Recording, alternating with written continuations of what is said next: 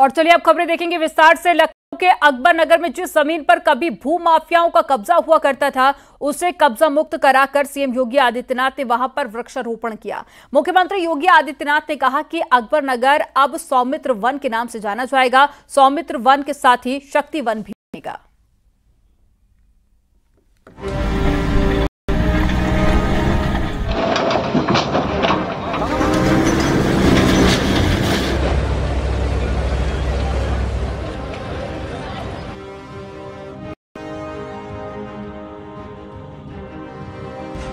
कभी जहाँ था अवैध कब्जा, जहाँ चलती थी भू माफियाओं की मर्ज़ी। पहले उसका आया कब्जा मुक्त।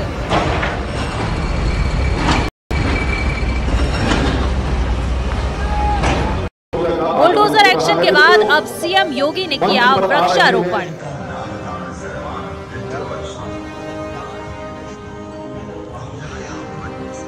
ये लखनऊ का अकबर नगर इलाका है, जहाँ भू माफिया ने अवैध कब्जा कर कॉलोनिया बसा रखी थी। यहाँ बहने वाली नदी नाले में तब्दील हो गई थी। अब उसी अकबर नगर को सीएम योगी ने कब्जा मुक्त कराकर वहाँ वृक्षारोपण किया है। यानी कि पहले बुलडोजर चलाकर अतिक्रमण हटाया गया और अब उसी जगह पर पौधे लगाए गए। इस मौके पर सीएम योगी ने अकबर नगर को सौमित्र वन का नाम दिया। सौमित्र वन के साथ ही शक्ति वन की घोषणा की।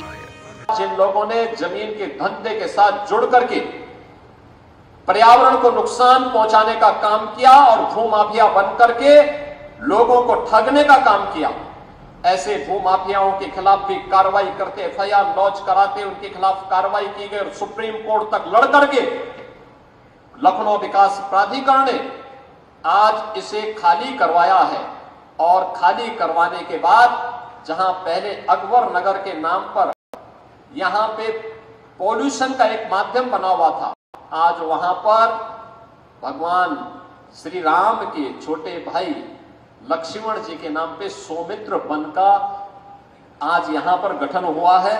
ये जो जितने भी पेड़ लगाए जा रहे हैं, ये सौमित्र वन ही हैं। ये सौमित्र बन के ही हो रहे हैं हरशंकरी के। एक वाटिका मुझे भी यहाँ पे लगाने का अवसर प्राप्त हुआ है। वृक्षारोपण के दौरान सीएम योगी ने एक बड़ा ऐलान भी किया और साफ़ कर दिया कि जिस नदी पर भू ने कब्जा कर लिया था वहाँ अब नाइट सफारी बनाएँगे। सरकार ने तय किया कि लखनऊ में आने वाले कोई भी अतिथि हो कोई भी पर्यटक हो लखनऊ वासियों के लिए भी प्रदेश वासियों के लिए भी हम कुकरेल में एक नाइट सफारी की स्थापना करेंगे। सिर्फ़ लखनऊ की बात नहीं है। सीएम योगी ने प्रयागराज में भी अवैध कब्जे वाली जमीनों को कब्जा मुक्त कराकर वहाँ गरीबों को आवास देने का काम किया है। प्रयागराज विकास प्राधिकरण अवैध कब्जों पर लगातार बुलडोजर एक्शन की कार्रवाई कर रहा है। अभी हाल ही में प्रशासन ने अतीक अहमद के रिश्तेदार इमरान के अवैध प्लॉटिंग पर बुलडोजर कार्रवाई कर करीब 20 बीघा ज़मीन को कब्जा मुक्त कराया था। अलीना सिटी के नाम से मशहूर अवैध कब्जे वाली ये ज़मीन माफिया अतीक अहमद की dream project.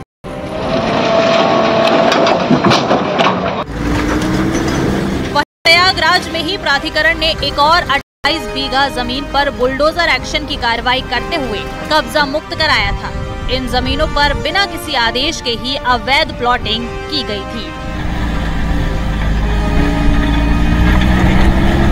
Bureau report, news 18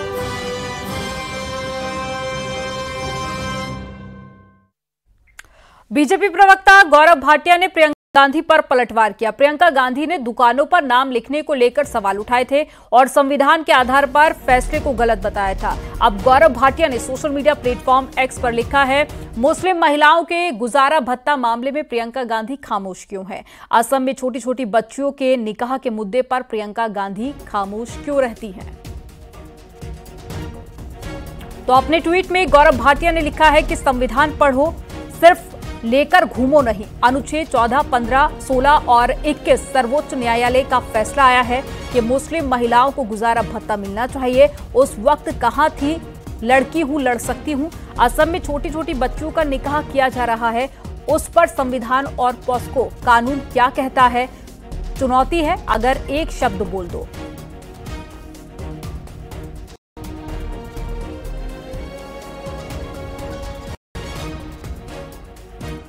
और खबर लखनऊ से है जहाँ पर टीचर ने बच्चे पर थप्पड़ बरसा दिए। अंग्रेज़ी में वाटर नहीं लिखने पर थप्पड़ मारे हैं और टीचर की पिटाई से बच्चे के कान से खून निकल लगा। परिजनों ने ठाकुरगंज थाने में तहरीर दी है। आरोपी टीचर को प्रशासन ने हटाया और ठाकुरगंज के टाउन हॉल पब्लिक स्कूल का ये मामला है और साथ ही क्लासरूम में लगा सीसीटीवी कैमरे से ये वीडियो भी सामने आया है, जिसमें आप देख सकते हैं कि एक के बाद एक कई थप्पड़ उस स्टूडेंट पर टीचर बरसाती इंग्लिश में वाटर ना लिखने के चलते ये सजा दी गई थी, जिसके बाद में अब पूरे मामले को लेकर एफआईआर दर्ज कर दी गई है। साथ ही स्कूल प्रबंधन की तरफ़ से टीचर को हटा दिया गया है।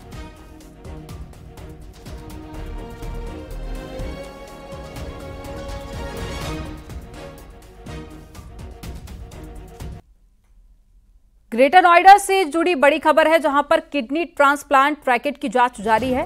जाँच टीम ने यथार्थ अस्पताल से पूछताछ भी की है। मैनेजमेंट से दो घंटे से ज़्यादा पूछताछ हुई है। मामले में अस्पताल की भूमिका की जाँच ज़िले में करीब 100 किडनी ट्रांसप्लांट हुए हैं। तो पूरे मामले को लेकर जाँच जारी है। साथ ही अस्पताल के डॉक्टर से भी पूछताछ की जा रही है और मैनेजमेंट से दो घंटे से ज़्यादा पूछताछ हुई है।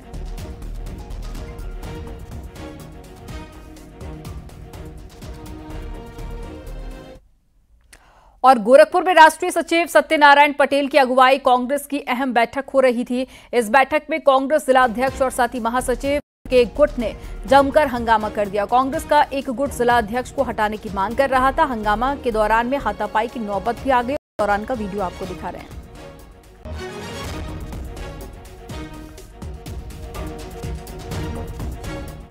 खबर महराजगंज से है, जहाँ पर मोस्ट वांटेड बदमाश सुधीर को पुलिस ने सोनोली बॉर्डर से गिरफ़्तार कर लिया। दिल्ली पुलिस की स्पेशल टीम ने गिरफ्तारी की है और दिल्ली पुलिस की ईडब्ल्यूएस थाने में केरल के रहने वाले सुधीर के खिलाफ में धोखाधड़ी और साथ ही मकोका कानून के तहत में केस दर्ज किया गया। दो साल से सुधीर फरार था और सुधीर के खिलाफ में लुकआउट नोटिस भी जारी किया गया। सुधीर नेपाल भागने की फिराक में था, लेकिन पुलिस ने उसे धर दबोचा।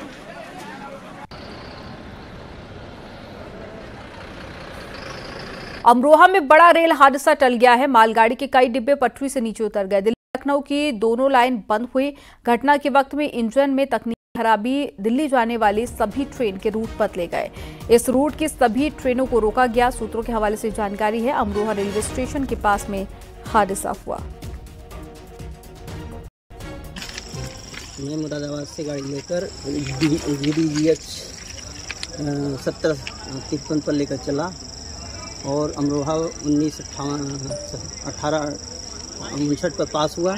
रन थ्रू गाड़ी थी और यहीं एडवांस से पास हुआ। हमारी गाड़ी में प्रेशर ड्रॉप हुआ। लोको ब्रेक लगा। मैंने गाड़ी तुरंत रोका और पीछे देखे गाड़ियाँ डिवीज़न हो गई आपको जब पास हुए हैं निकले हैं तो आपको ट्रैक पे कोई समस्या लगी या कोई कोई समस्या नहीं। गाड़ी थ्रू आ रही थी। बिल्कुल साफ़ था। ठीक साफ़ था। साफ़ था। कोई घटना कोई आवाज़ कोई आवाज़ नहीं कोई नज़र नहीं था। ठीक। यहाँ रुकेंगे एक छोटे से ब्रेक के लिए। आप देखते रहिए न्यूज़ एटीन।